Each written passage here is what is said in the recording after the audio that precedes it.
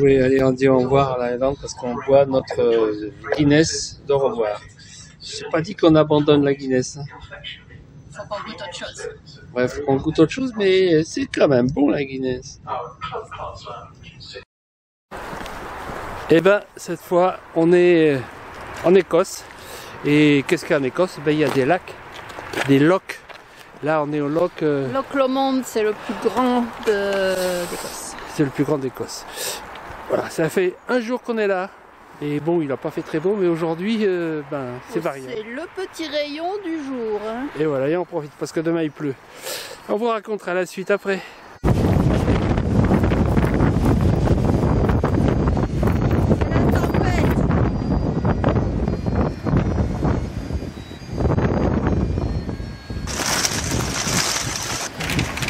Aujourd'hui, il y a un peu de vent, il y a un peu de pluie.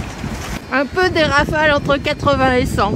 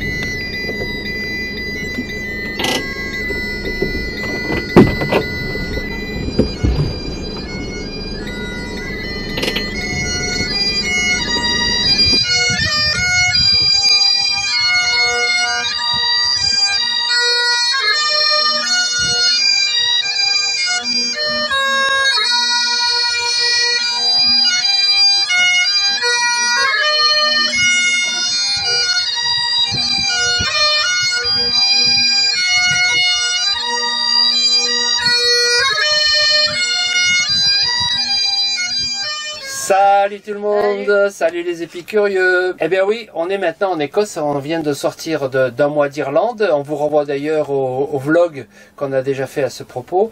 Euh, le lien est dans la description.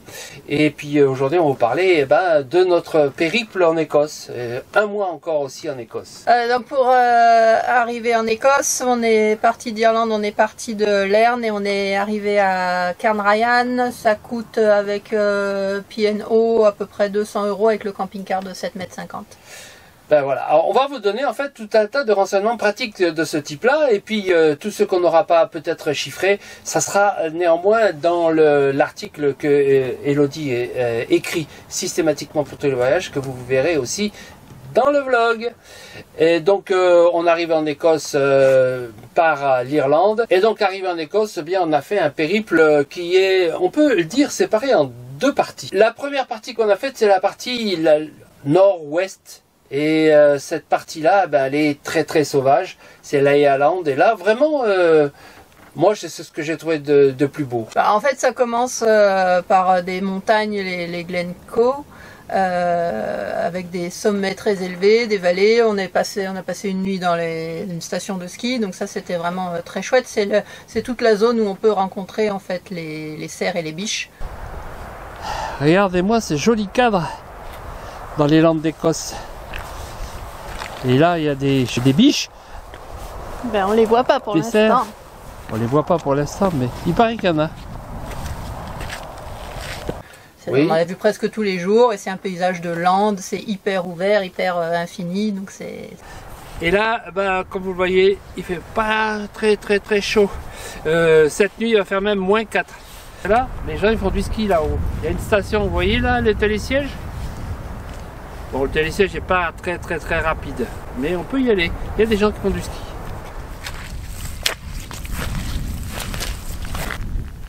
On est au milieu des bruyères qui sont pas encore en fleurs.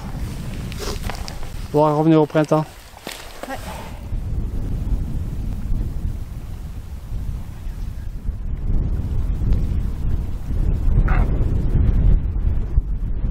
il nous aboie.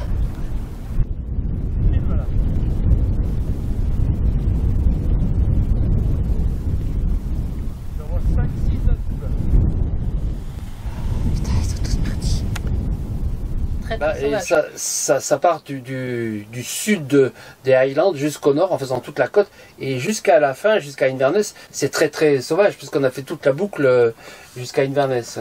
Alors, moi, je mettrais encore une particularité quand même sur le nord, vraiment, euh, toute la côte nord de l'Écosse, où euh, c'est beaucoup plus avec des plages. Il y a énormément de très grandes plages qui, sont, qui changent énormément avec les marées. Et c'est encore moins facile qu'ailleurs de stationner et de bivouaquer là-bas parce que c'est bourré d'interdictions.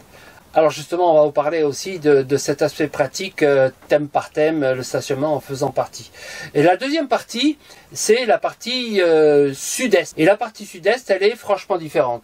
Ouais, c'est en gros c'est l'Aberdeenshire euh, jusqu'à jusqu'à Dundee, jusqu'à Édimbourg. Et là, c'est on retrouve des, des paysages plus vallonnés, plus de moutons, c'est plus vert. Euh, on quitte la lande et, ça circule aussi beaucoup plus facilement et beaucoup plus densément. Au cours de, ce double circuit, euh, ben en fait, on a fait euh, des choses très différentes finalement parce que la partie 1, qui est la partie la plus sauvage, ben il y avait on ne peut pas dire qu'on ait visité des villes euh, ni fait des musées. D'ailleurs, euh, ils sont fermés. Hein. Oui, bah, parce que ça dépend de la saison à laquelle on vient. Nous, c'était cette partie-là, c'était avant le 1er avril, donc tout était fermé. Il n'y avait pas de musée. Et les rares musées qu'on a commencé à faire, en fait, dans, toutes les, dans tous les Highlands, c'est vraiment des petits musées qui sont faits par euh, des, mm, des, comités locaux, des, des bénévoles, et c'était c'était gentillet, quoi. c'était gentillet, ouais. au bout du chemin, il y a un petit musée du cerf. C'est artistique. Et moi tous ces crânes, mais c'est pas que des cerfs là. Il y a des chevreuils derrière toi. Toutes ces mâchoires. Bon, c'est le Dire Museum. Et la deuxième partie, donc là, on a pu faire euh, dans des villes euh, des, choses un peu plus euh, importantes et la plus grande, évidemment, c'est sur Édimbourg et qui a fait partie de, une des dernières étapes de notre périple. On a quand même quelques incontournables à, vous euh, raconter. En fait, euh, on a beaucoup beaucoup d'informations, donc on les a pas toutes mises sur ce vlog-là. Vous en verrez quelques images, mais euh, en fait, ça sera plus complet dans l'article que tu feras avec des références beaucoup plus précises. En gros, s'il fallait retenir quelques incontournables, on retient quoi? Bah, Le Westeros globalement pour les balades et pour la vie sauvage. Oui, alors la vie sauvage, euh, on va faire aussi une rubrique là-dessus. ensuite. Euh, L'île de Skye, parce que quand même ça vaut le coup, il y a des super paysages, c'est pas très facile, peut-être qu'on en reparlera aussi au niveau circulation, mais euh, c'est magnifique. Voilà. Il y a des belles randos. Ah oui, on a fait des belles randos. Les plages du Nord, pour les gens qui aiment les plages, franchement elles sont très très belles très très belle et euh, enfin cette saison pas encombrée évidemment. Euh, pour les musées, moi je retiendrai le, musée de Dundee où on a visité le Discovery qui était parti explorer l'Antarctique et d'ailleurs qu'on a retrouvé ensuite euh, ben, quand on a fait la deuxième partie du voyage. Ouais, en le, fait, le, vrai bateau, je veux dire. Ouais, on avait visité dans le nord un musée parce qu'il était parti de là-bas et après à Dundee, c'est ils ont remis le bateau là-bas et très très chouette. Et en musée, euh, bah, à Édimbourg, euh, il y a le musée, je crois que c'est le musée d'histoire naturelle, c'est immense, ça fait à la fois musée des sciences et... Ouais, ça fait un peu parler de la découverte, c'était c'était immense. Puis Édimbourg, il y avait beaucoup beaucoup de monde, donc euh, on a plus été gêné par le monde et notamment dans le musée parce que c'était très très bruyant. C'est un palais de la découverte avec plein d'activités pour les enfants. Si vous avez des enfants, il faut les amener là. C'est formidable pour eux. Mais euh, c'était tellement bruyant qu'on en est sorti euh, fatigué.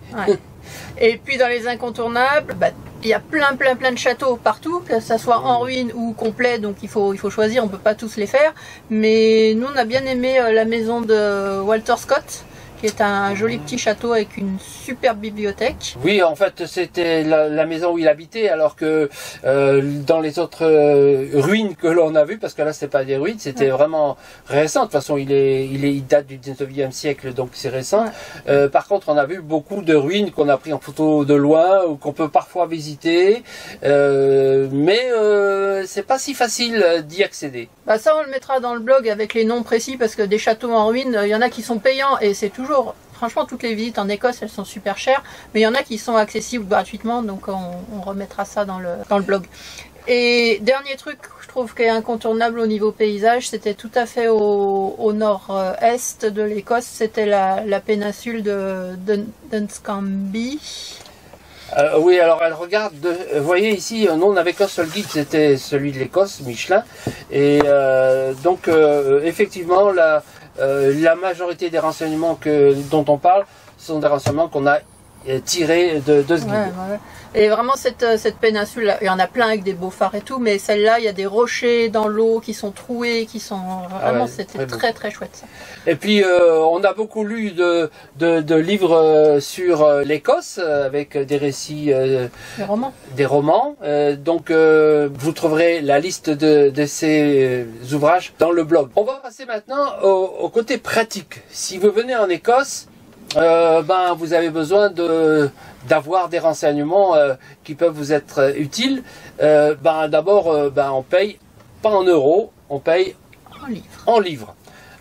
Vous pouvez payer d'ailleurs partout avec la carte. On a changé, on a tiré dans, dans un DAB des, de- des livres, mais en fait, on s'en est jamais servi. Alors ça peut servir parce qu'en fait, dans euh, la particularité en Écosse, c'est que chaque fois qu'on se gare sur des parkings, ils demandent des donations. Donc on est invité en fait à payer. Il y a des boîtes pour mettre des sous dedans. Les boîtes à honnêteté. Ouais. Et ben donc là, c'est pas mal d'avoir de la monnaie, mais en fait, la plupart du temps, on peut même dans ces boîtes-là, il y a un flash code et on peut payer par carte. Voilà. Ou même sur un site, euh, comme on l'a déjà fait aussi. Même dans une ferme, on a payé, on est rentré dans une ferme, il n'y a personne pour, euh, pour euh, vérifier que vous êtes là ou pas là. Euh, juste une petite pancarte, voilà ce qu'il faut faire. Et donc, euh, la plupart du temps, vous avez une enveloppe, vous mettez dans un trou, euh, personne ne sait que vous l'avez mis ou pas. Donc, c'est ce pour ça qu'ils appellent ça la boîte à honnêteté. Et puis, même dans ces cas-là, il y a un site euh, sur lequel vous pouvez payer. Donc, en parlant d'argent, en Écosse, eh ben, en Écosse, la vie est chère, plus chère qu'en Irlande. Un peu plus cher que chez nous. Euh, la livre, elle n'est pas très avantageuse. Quand on paye en livre, il faut rajouter entre 15 et 20% selon le moment. Nous, c'était 17% hein, donc euh, euh, ça fait des prix qui, lorsque vous payez, euh, disons, euh, 10 livres euh, pour un stationnement, pour une nuit, eh ben, ça veut dire que vous payez en fait euh, 12 euros. 12 ou 13 euros. Euh, donc euh, voilà, pour le reste, les restos sont plus chers, les, les boissons sont plus chères. Alors les visites sont très très chères, les, les musées. Ouais, les musées, les châteaux, euh, c'est vite euh, facilement 15 euros par personne. Hein. Ouais, on a fait des visites à, à des fois bien plus, on a payé euh, 25 euros chacun des fois. Les campings, c'est à- hors de prix. Donc, euh, si vous en avez besoin, ben, c'est possible. Euh, mais c'est tellement hors de prix. Mais quand je dis hors de prix, c'est entre 30 et 60 euros euh, pour avoir juste un emplacement à côté d'un voisin qui, qui fait la même chose que vous. Et donc, bon, alors on a on n'a pas fait tellement. On en a fait quand On même. a fait un camping. On a fait un camping parce qu'on était allé exprès, parce qu'il était sur une, le haut d'une falaise, et donc il y en avait un super coin, Ouais. et, et on était allé exprès parce que c'était la, nuit des aurores boréales, paraît-il.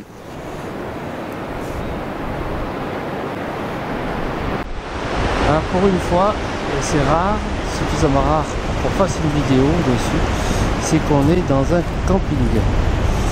Et là il y a beaucoup de monde en plus alors qu'on est dans une zone euh, dé- désertée des camping-cars jusqu'à présent. Et en fait, euh, eh ben là, les gens sont tous là pour l'aurore boréale j'imagine. En fait il y a beaucoup de camping-cars parce qu'on est c'est le week-end aussi. Parce que sur la route on en a raconté trois aujourd'hui et... Ah non c'est pas le week-end. Mais pas du tout. Mais je sais pas d'où ils sortent ces camping-cars. Ça fait déjà 15 jours qu'on est là et 15 jours qu'on a vu mais moins de camping-cars. On en a vu 10 euh, en total. Ouais, on a vu 10 en total sur 15 jours. Et là, d'un seul coup, c'est bourré. Et bon, eh ben, on vous raconte. Il a neigé cette nuit. Et il fait 3 degrés actuellement. Mais vous voyez, les gens, ça les empêche pas d'être dehors. Ici, euh, personne ne craint. Il y en a qui même qui se baladent en, en t-shirt. Et c'est rare pour nous dans, dans un camping, mais euh, on n'a pas eu le choix parce qu'il n'y a pas d'autre possibilité. Et bon, c'est bien pratique hein, parce que c'est confortable, il y a de l'eau, il y a des sanitaires, il y a, il y a des douches chaudes. Mais ça fait quand même beaucoup de monde avec beaucoup de chiens. Le matin, on est réveillé de bonne heure. Ce matin, à 6h du matin, on était debout. Bon, c'est pas trop notre truc, mais des fois, ça dépanne. Puis, je comprends qu'il y ait des gens qui peuvent pas faire autrement, comme ceux-là, là, dans les vannes. Ils n'ont pas de quoi prendre des douches chaudes. Alors que nous, bien sûr, on est autonome dans le camping-car, donc on n'a pas besoin de toutes ces installations. On va attendre un petit peu avant de repartir parce que là, si la neige est à ce point importante, eh bien, je pense qu'on va avoir du mal à rouler et à trouver un autre coin. Parce que bon, quand il faut s'écarter de la route, déjà en temps normal, c'est pas terrible, mais avec de la neige. Et même avec mes pneus de 4 saisons, j'y crois pas vraiment. Bon, on va vite se mettre au chaud et boire un café en attendant de voir ce qui se passe. Parce que là, il a fait 0 cette nuit, même moins. Et donc, euh, on va boire un café et attendre que ça dégèle un peu. Café Ah, bon café le matin, quand il neige dehors, c'est super. Avec des petits biscuits écossais. Bon. Ah, au fait, euh, ben, pour les aurores boréales, ah, on n'a rien vu.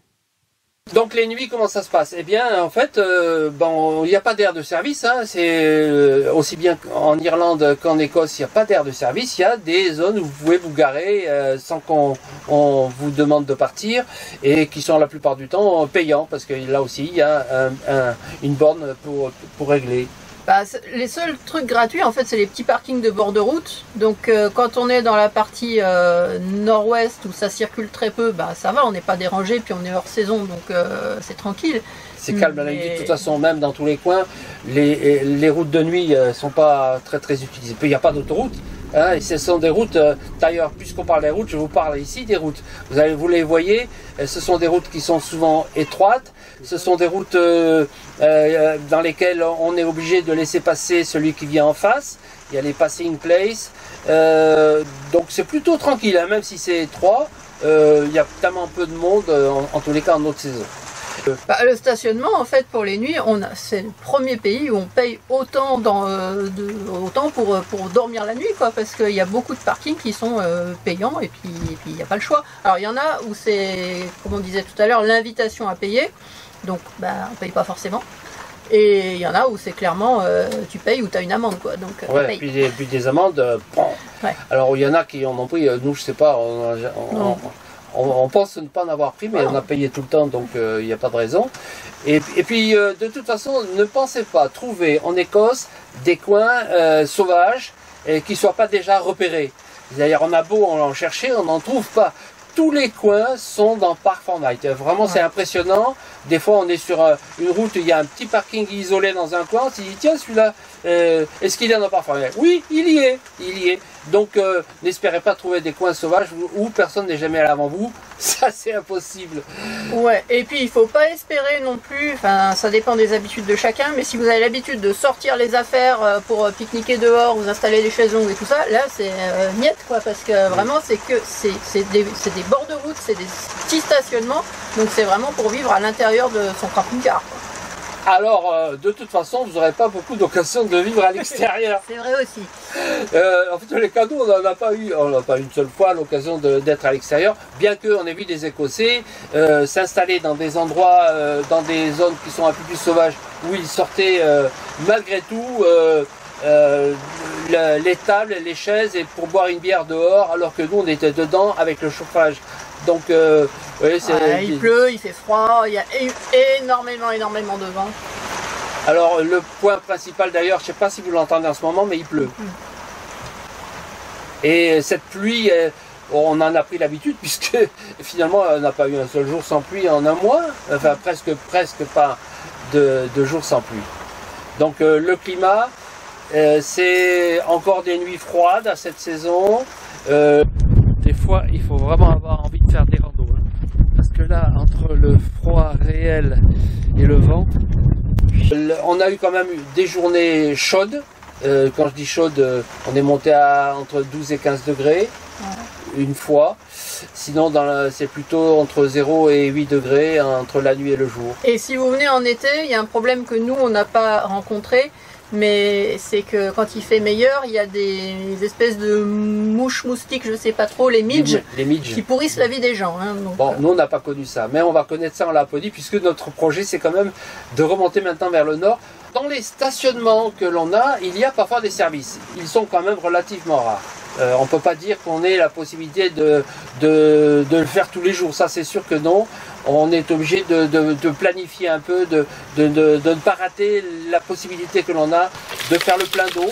et euh, de, de- de vider les eaux noires. Ouais. Alors pour les eaux grises, euh, par contre, euh, les Écossais c'est spécial. hein. ils ont jamais, à part dans certains campings, euh, des grilles pour vidanger, mais alors ils vidangent n'importe où, ça, sans Ouais. complexe. hein. Sans complexe, on a été choqués parce que des fois on était dans des endroits goudronnés. Euh, Donc, euh, ben, nous, on, vide nos eaux usées, euh, soit dans la nature, sur des graviers, sur du sable, pour que ça puisse être absorbé et qu'on le voit pas. Et vu comme on a des eaux qui sont pas polluées par des produits chimiques, donc ça nous dérange pas beaucoup.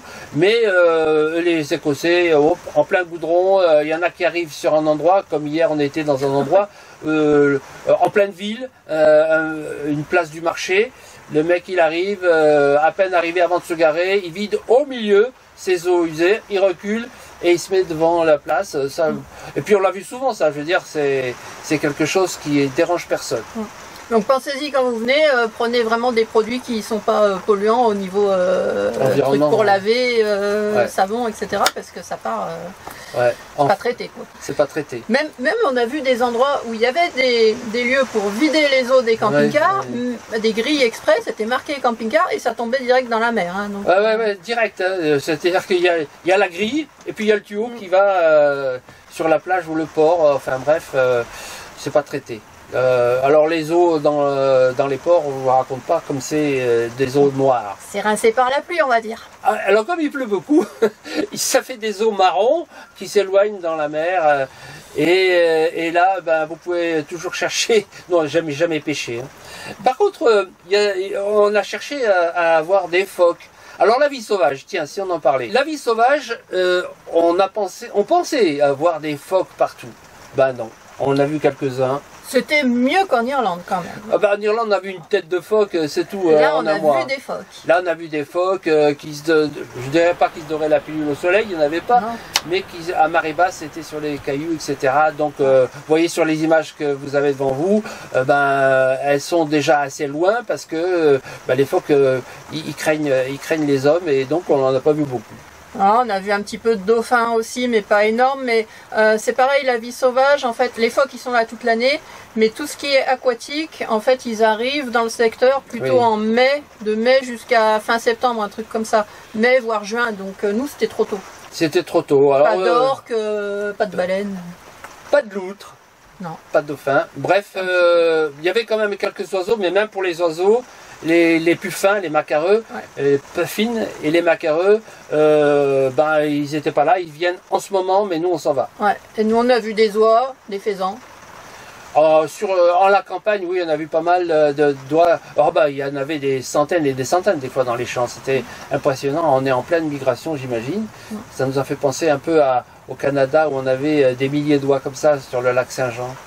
Lorsque on s'est baladé, on a vu des fois, euh, notamment dans les Highlands, des, des cerfs, mais même euh, beaucoup de cerfs. Alors pour les repérer, c'est pas facile parce que un animal qui est brun sur une lande qui est brune, c'est pas évident à voir, mais il y a une astuce. Ah oui, nous on les a appelés les culs blancs. Tout simplement parce que euh, ben, quand on les voit deux derrière, ben, on voit la tache blanche dans le champ. Et quand on regarde les taches blanches, des fois elles bougent. Et c'est un cerf. Ça, c'est Colum, le cerf Ah, qui habite sur le là. parking et il fait sa star ici. C'est un gourmand, Colum. Hein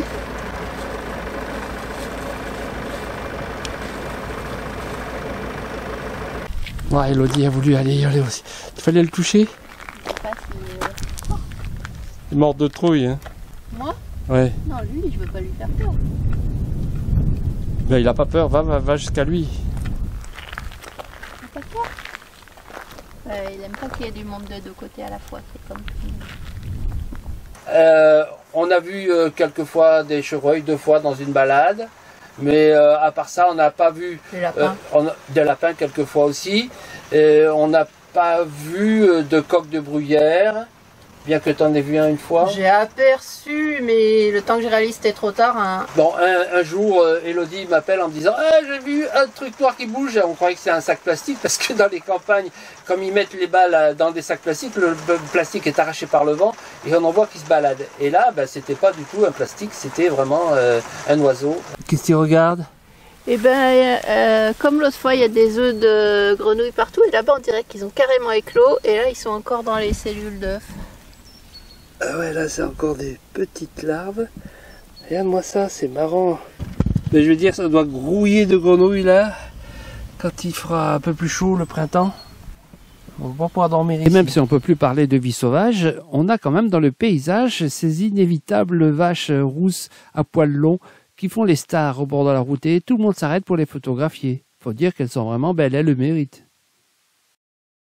Voilà les histoires qu'on peut vous raconter sur la vie sauvage et pas très riche. Ça n'a pas directement de rapport avec la vie sauvage, mais quelque chose qui est remarquable aussi dans les paysages, c'est que l'Écosse est extrêmement propre.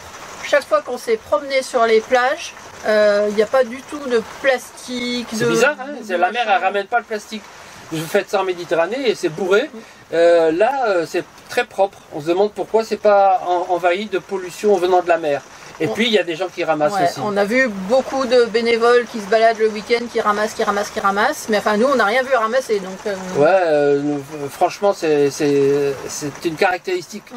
euh, qu'on a. qu'on Et a contrairement en Irlande, en Écosse, on trouve facilement des poubelles et il y a tous les tri possibles. On trouve aussi régulièrement des laveries et donc euh, là aussi c'est très pratique. En ce qui concerne euh, le réseau électrique, euh, comme il n'y a pas d'air de service, eh bien il est difficile de pouvoir recharger euh, ces batteries. Si vous en avez besoin, ben il faut utiliser le solaire. C'est ce que l'on fait nous régulièrement. Encore faut-il évidemment qu'il y ait du soleil. Pour finir avec l'aspect pratique des services, les magasins, on en trouve régulièrement. Il n'y a pas de souci pour faire les courses. Il y a des gr- grandes chaînes comme Lidl par exemple ou Aldi ou euh, d'autres. Là, une très grosse qui ressemble un peu au Walmart des États-Unis, c'est le Morrison's. Euh, voilà, on peut donc faire les courses euh, facilement. Il n'y a pas de souci. Il n'y a pas besoin de faire d'entasser des réserves dans le, dans le camping-car. Euh, on trouve ça assez facilement, euh, même si c'est un peu plus cher. Parce qu'on parle de nourriture, on a mangé un petit peu au restaurant, mais pas tant que ça parce que à cause des prix. Et principalement, qu'est-ce qu'on a mangé? Du poisson Et on a mangé euh, pas mal de, fish and chips. euh, donc euh, regardez sur les photos qu'on vous fait défiler ici. C'est quand même beaucoup de poissons, fish and chips un peu gras. Voilà rendu de notre sortie fish and chips. Alors là on a pris le médium. Le médium c'est déjà gros hein. Et ça, c'est les langoustines panées. Langoustine panée. C'est la ça, c'est la bière euh, spéciale euh, écossaise. Alors, on vient pas ici pour faire du régime, on vient ici pour manger des fish and chips. Parce que en France, on peut pas trouver les mêmes, ça c'est sûr. Il n'y a Oh. pas le vinaigre, c'est vrai. non, mais c'est- pas les mêmes. C'est pas les mêmes. Allez hop, Bah, puis là, ça vient directement du porc. Hein. et on est vient dans de le les port. cuire juste devant nous. C'est pas Ouais. traîné. Ouais, c'est du frais de chez frais. Bon, on a trouvé quand même euh, de bons euh, harengs euh, dans certains ports où, où il était produit. Alors, retour de marché? Eh oui, on a acheté ça. C'est spécial, hein? Des smokies. C'est en fait c'est, c'est des haddock euh, fumés, euh, smokies quoi ici. Et puis bon dans le camion d'à côté on a acheté des frites, euh, des, des chips parce qu'ici c'est, c'est des chips, fish and chips euh, au vinaigre et salé avec une blonde locale. Et où on peut euh, manger du bon poisson, quelquefois du saumon. Eh ben, aujourd'hui on mange du saumon écossais. Et ce saumon écossais, ben, on, on l'a acheté dans un magasin écossais, évidemment. Il y a plein d'élevages. Et par contre, euh, il est cher. hein. Oui, il est cher et pour l'instant tous les fumoirs qu'on a trouvés euh, sur la route ils sont fermés. C'est on est hors saison donc euh, on a trouvé que euh, dans les supermarchés. Voilà. Et on a du vin blanc, mais français parce que du vin blanc de chez nous. Parce que ici, acheter de l'alcool, c'est pas évident. C'est cher. Mais euh, on a trouvé aussi du saumon préparé comme le hareng, fumé. Euh, et puis au restaurant, on a fait quelques essais euh, euh, bien dans le parking juste en face, un petit restaurant qui faisait des breakfast. Donc euh, breakfast écossais, on est allé. Et voilà, regardez sur les photos, c'est quelque chose de classique aussi. Dans une ambiance très cosy, avec notre breakfast spécial écossais. Avec la panse de brebis. la panse de brebis farcie qu'elle a. La panse de brebis farcie, ça a été l'occasion de la goûter. On n'a pas regoûté depuis dans un restaurant plus spécifique euh, sur On ce en, a, euh, on en trouve hein, dans les grandes surfaces. Oui. On a goûté des choses qui n'étaient pas, pas terribles, il faut le dire. Mais euh, bon, on n'a pas été convaincus non plus. Bah, les whisky quand même, euh, Ah oui, les- écossais. Les whiskies écossais, comme en Irlande, ne venez pas acheter du whisky en Écosse. Achetez-le en France et venez le boire en Écosse. Et vous, comme ça, vous gagnerez entre 50 et 100% du prix. Ouais, et les distilleries, c'est pareil. Alors, dans, dans toute la Spey Valley où on a beaucoup de distilleries à visiter, euh, avant, on était venu il y a longtemps, c'était gratuit de visiter les distilleries et on nous offrait à la fin une dégustation. Alors maintenant, pas du tout. Ça coûte au moins euh, 20 livres par personne pour euh, faire le tour de la distillerie Ouais. et déguster deux petits shots de whisky, quoi. Ouais, ouais, on l'a, on l'a fait, on a fait en fait une visite euh, parallèle, on va dire. On n'a pas fait la distillerie, on a fait une visite de euh, restauration de barriques. Alors ça, c'est un truc très très particulier. Regardez sur les images, c'est un atelier qu'on a visité. euh, on était sur un balcon vu de dessus, donc vous entendez le bruit que ça faisait. Euh, On avait quelqu'un qui nous faisait un commentaire, mais avec un accent écossais affreux, on ne comprenait rien.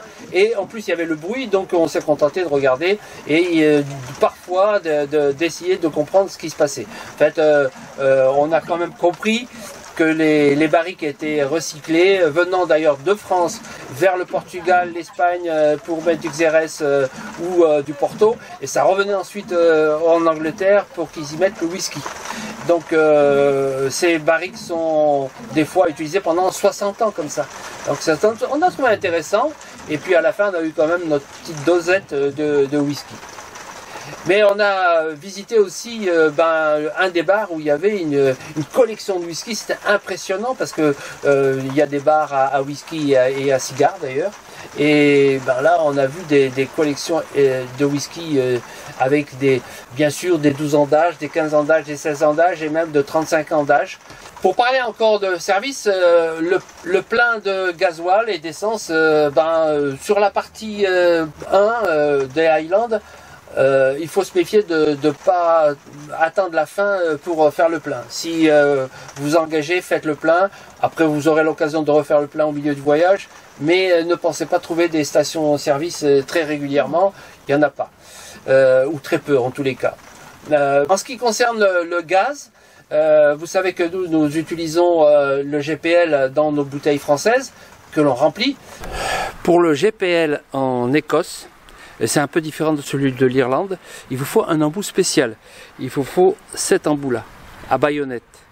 Celui-ci est à vis, on peut l'installer sur euh, le, ce que j'ai appelé l'adaptateur primaire, qui est souvent vendu déjà, déjà installé euh, sur embout. Donc euh, il n'y a rien d'autre à faire que de mettre les autres embouts éventuellement. en France, c'est un autre. Et vous avez vu en Irlande, c'en était déjà un autre. Il y en a quatre types.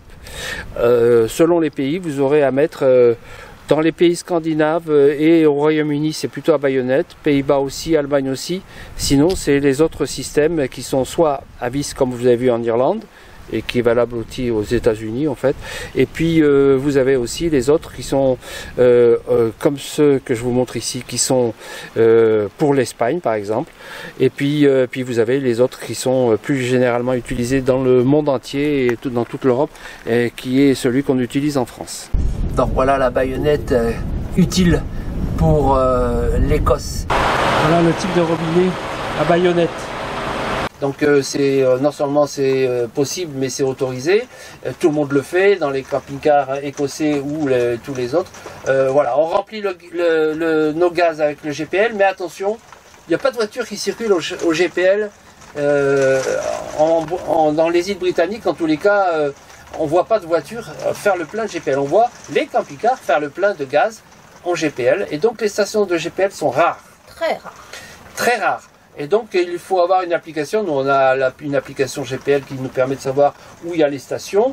Euh, et donc euh, ben, euh, avec deux bouteilles, on alterne en fonction de la route et on n'est jamais tombé en panne heureusement et on a eu un chauffage régulier. D'autant qu'avec le le Webasto que j'ai installé avant de partir, on a deux systèmes de chauffage qui sont complémentaires et qui nous permettent de ne pas avoir froid alors que effectivement on a fait une période très- très froide.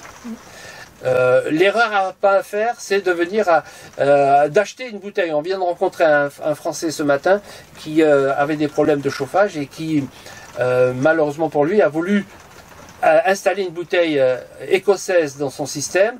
Ça l'a obligé à acheter une bouteille, plus de 130 euros, un truc de genre, d'acheter des lyres, parce qu'évidemment c'est pas les mêmes, de, de, de changer son détendeur, euh, parce qu'évidemment c'est pas les mêmes, et en plus euh, son chauffage marche pas, marche pas avec ce système.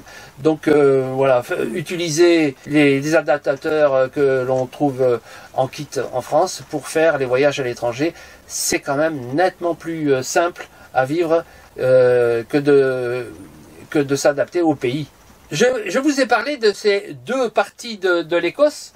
Et en fait, euh, c'est au cours d'une visite, euh, on était dans les Highlands, on a vu pourquoi il y avait ces deux parties de l'Écosse très distinctes sur le plan des paysages, sur le plan de, la culture. Même euh, les Écossais de la partie euh, nord-ouest euh, sont euh, différents des Écossais que de la partie euh, sud-est. Euh, D'ailleurs, il y a une espèce de concurrence entre les, les, deux, les deux régions. Les Écossais du, du nord-ouest sont un peu considérés comme des, des gens rustiques, on va dire. Et oui, effectivement, parce que la vie, elle est bien plus pauvre dans ces régions-là. Bah, ils ont rien en fait. Hein. La pêche et les moutons, c'est tout. Il n'y a pas d'autre industrie, il n'y a rien d'autre. Alors que dans la- l'autre partie, il y a toutes les industries, euh, comme, dans l'Angleterre, où on arrive en ce moment. Ces deux parties-là sont euh, liées à la géologie. L'Écosse est là, le reste euh, de l'Angleterre est là, il y a 500 millions d'années, et qu'au fil du temps, ben, ça s'est rapproché et ça s'est réuni ici pour finalement donner au niveau de l'Eurasial la plaque européenne ici.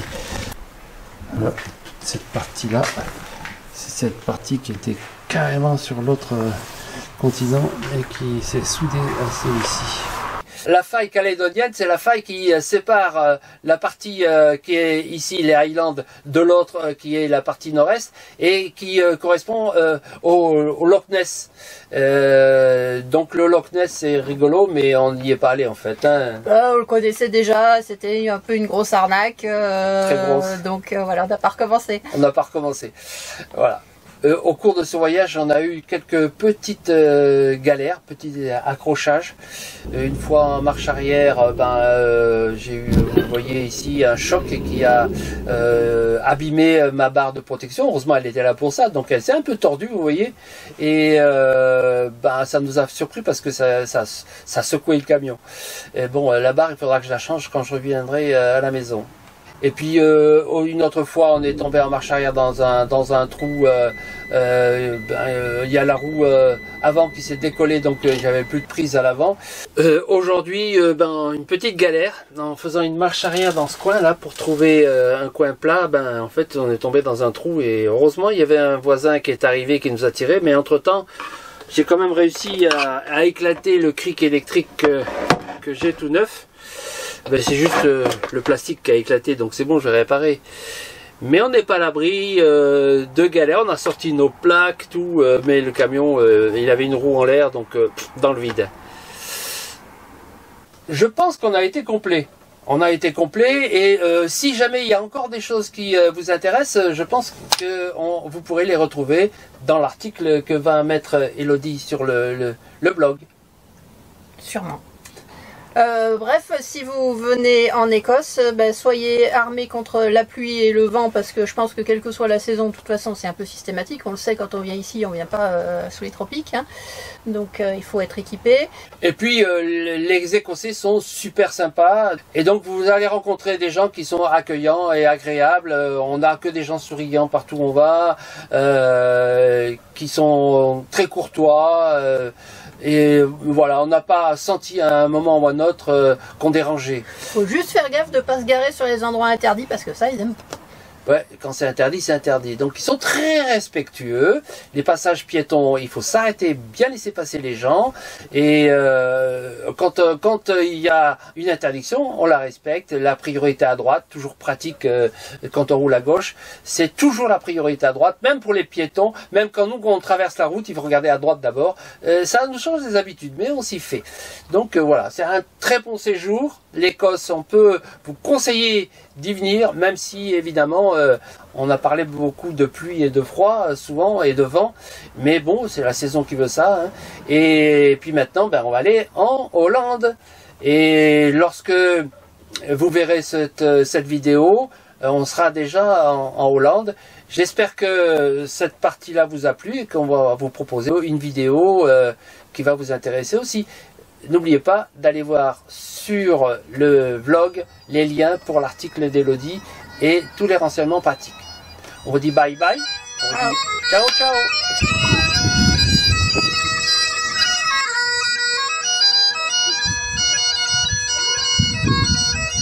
Et n'oubliez pas de vous abonner si vous ne l'êtes pas encore, et de mettre des likes, de mettre des commentaires.